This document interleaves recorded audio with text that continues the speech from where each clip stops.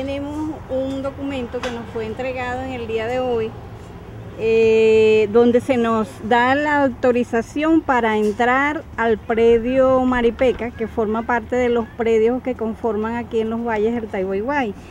Todo un, pueblo unido, lleno de esperanzas, con ganas inmensas de trabajar.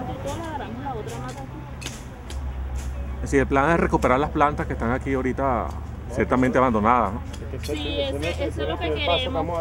El primer paso es recuperar este tomate ya que está bastante Está recuperable, productivo, recuperable para arrimarlo a la feria que, que vamos a seguir haciendo.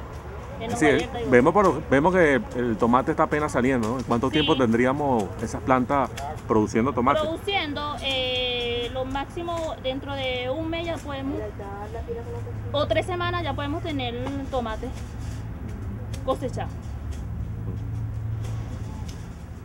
¿Y serán grandotes esos tomates? Sí, son de los grandes. Aquí podemos ver un fruto que tiene aquí ya, de este ladito.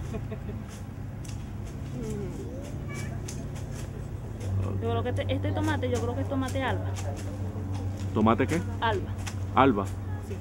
Y en, es- en este esfuerzo, como podemos observar, aquí está nuestro pueblo, aquí están nuestras mujeres, nuestros hombres, nuestros niños, con todo el amor de su alma, limpiando, acomodando este predio, recuperando esta siembra como la pueden observar, para poderle dar esa respuesta a nuestro querido pueblo.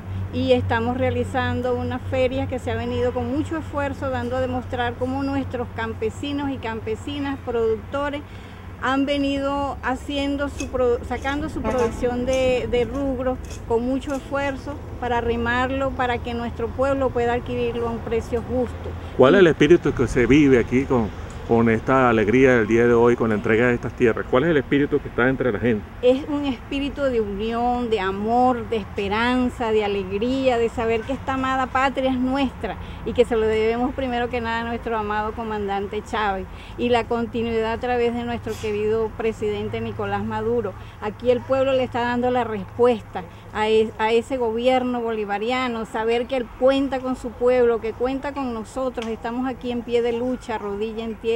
¿Y cuál es el vamos- compromiso que va a asumir el pueblo asumiendo estas tierras? ¿Cuál es el compromiso de El ustedes? compromiso es producir, producir todos los alimentos que consumimos aquí en, nuestra, en nuestros valles, en nuestro pueblo, en nuestro estado. Aquí se va... ¿Y cuándo nos vamos a comer esos tomates, esa cebolla? Oiga, yo creo que dentro de un mes ya debemos estar cosechando los tomates que van a ir a la feria para llegar a un precio muy económico al pueblo. Bueno, amiga, ¿qué llamado le haces tú ahora a los campesinos y campesinas del sector? El compromiso que están asumiendo ahora tomando estos invernaderos para la producción agroalimentaria.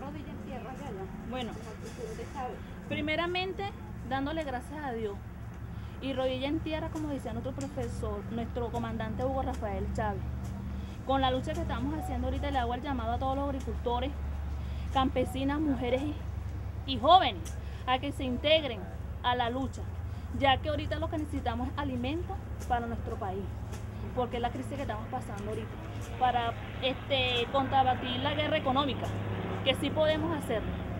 Sí tenemos las herramientas, sí tenemos las ganas, y bueno, para adelante, para adelante, que aquí es un logro, para que vean que es un logro que sí hemos, hemos logrado todos juntos, unidos, que sí se puede hacer las cosas. Es un logro de la comuna Valle de Taiwán. Valles del Taiwaguay, con mucho orgullo, con mucho... Bueno, tengo palabras para explicar lo que, lo que hemos logrado.